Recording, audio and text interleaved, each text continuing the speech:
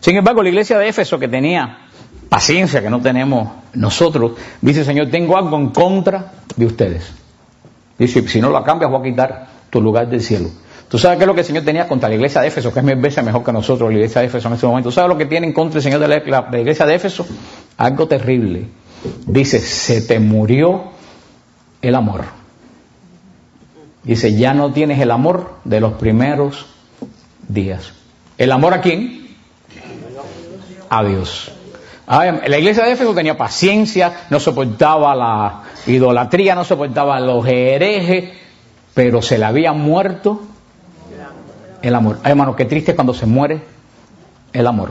Qué triste cuando una pareja le dice a otra, mira, la verdad que se me murió el, el amor.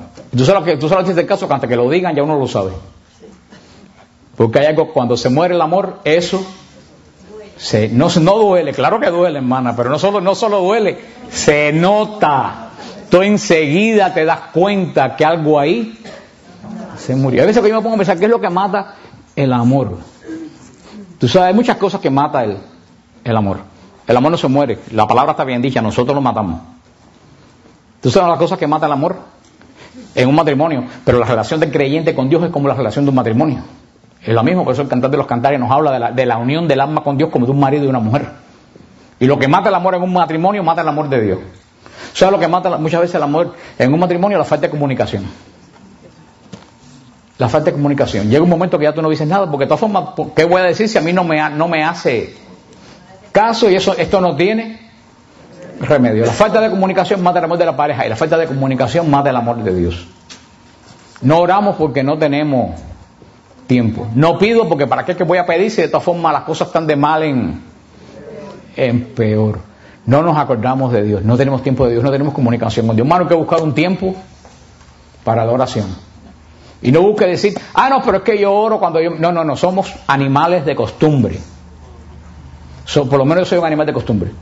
Yo tengo un horario para hacer todo. Yo limpio los jueves por la noche. Y si yo no limpio los jueves por la noche, me parece que el mundo se acabó. Es más que si no, si no limpio jueves por la noche, no, ya no, limpios. Somos animales de costumbre. Tú tienes que buscar un día a la semana, un día, perdón, una hora al día para orar. Es decir, de 9 a, de 9 a 9 y cuarto es mi hora de oración. Y llámate quien te llame. Esté el, el programa que esté de 9 a 9, estoy poniendo para principiante, de 9 a 9 y cuarto yo lo voy a dedicar, o, o de 10 a 10 y media, o a las 11 de la noche. Yo sé que a una hora fija, esa hora yo pago todo y ¿qué es lo que empiezo? Ahora, tenemos que buscar un tiempo de oración para que no se nos muera el primer amor, el amor de la luna de miel, que no se convierta en rutina. La comunicación. Hermano, tenemos que orar. Alma que no ora, alma que se muere. Hay muchos cristianos muertos porque no oran. El Santo Padre nos está llamando continuamente a la lectio divina.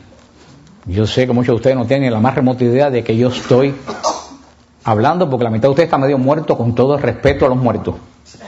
Y para eso son estos retiros, para que se despierten. Busquen, si no saben qué es la lectio divina, pónganlo en el internet. Pongan lectio divina en el internet. Ahí están los pasos, hay buenísimos websites de cómo hacer la lectio divina, que es súper facilito, que es orar con las escrituras. No toma más de 15 minutos diarios. Es como oran los monjes benedictinos desde el siglo IV en la iglesia. Y es una oración que ya tiene un patrón. Busca lectio divina en el internet. Está muy bien. A practicar la lectio divina. Otra cosa que aparte de la falta de comunicación, eh, que, rompe una, una relación, es tragarnos cosas que no, que no decimos. Parece falta de comunicación, pero es otra cosa. Que yo me hicieron esto, ¿y qué es lo que yo hago? Me lo trago. Y me hicieron lo segundo y me lo trago. Y llega un momento que por cualquier bobería explota. Y uno dice, ay, pero si lo que yo dije no fue... Pero es que venía... San Pablo, San Pablo es muy sabio, San Pablo dice que el sol no se caiga sobre tu enojo.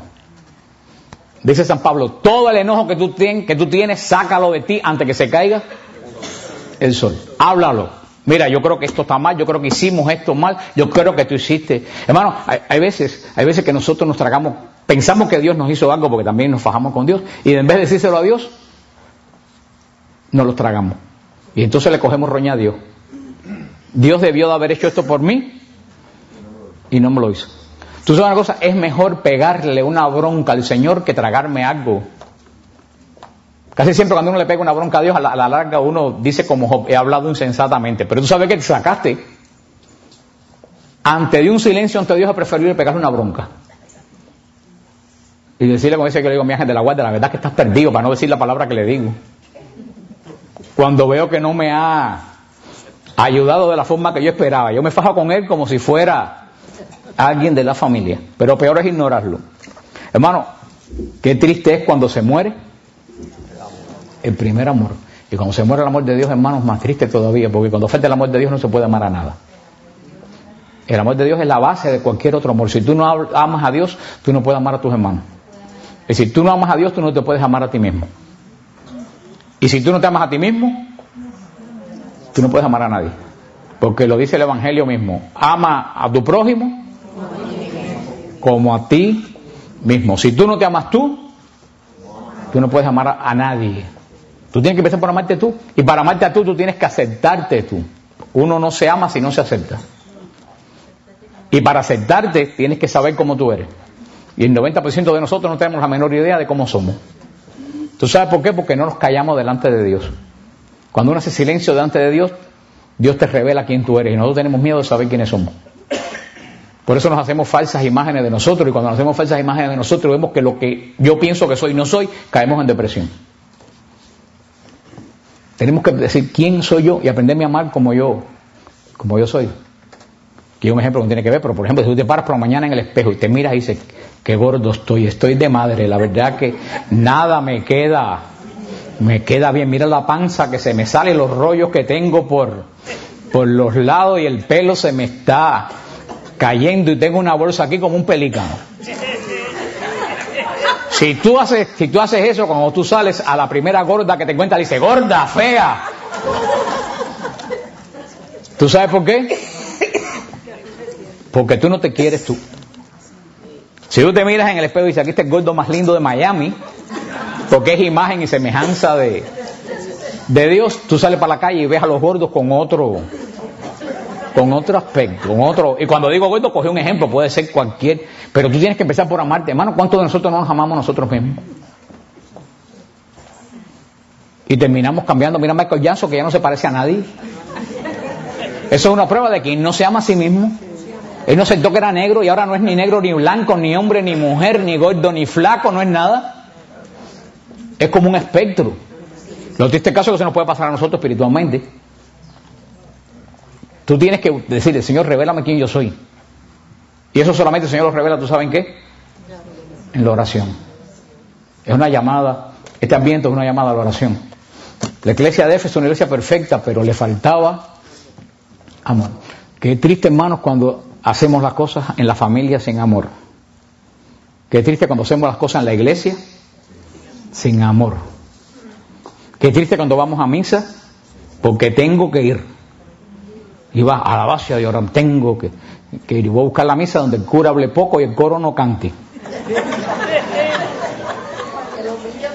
Eso es falta porque el que ama quiere estar todo el tiempo con el amado. Si tú no aguantas estar en la iglesia mucho rato, si a ti no te gusta la oración de alabanza, cualquiera que sea, yo no sé qué tú vas a hacer, pero busca otra cosa que hacer porque al cielo no sé qué vas a hacer en el cielo. A no ser que vas a te, te garantizo que vas a pasar bastante calor el resto de tu eternidad. Porque una persona que no aguanta la iglesia, ¿qué va a hacer en el cielo? A ver, yo quiero que me expliquen. No es que no cabe. No cabe.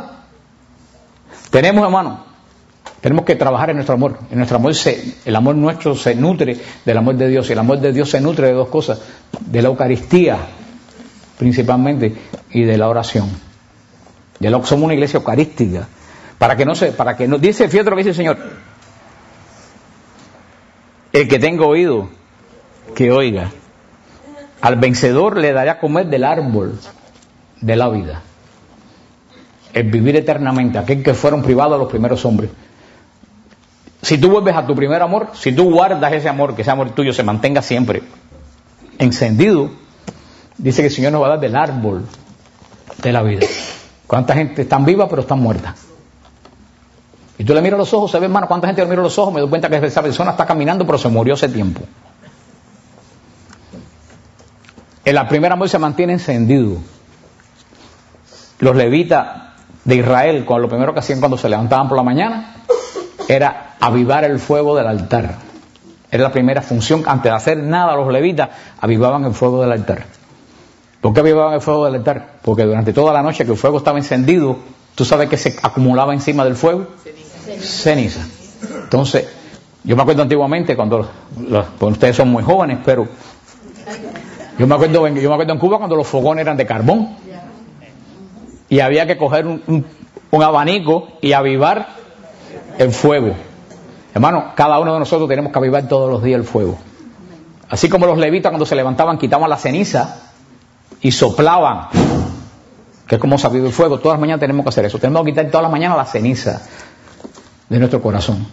¿Y cuál es la ceniza de nuestro corazón? El odio, como lo dijo Padre Luis en la primera charla. El que no perdona, no será perdonado. ¿Cuánto odio acumulamos y cuánto odio acumulamos? Y ese odio nos va apagando el fuego. Cuánta ira, cuántos resentimientos que se nos va apagando. Hermano, todas las mañanas tenemos que soplar de nuestra vida. ¿Y tú sabes cuál es el gran soplo de la iglesia?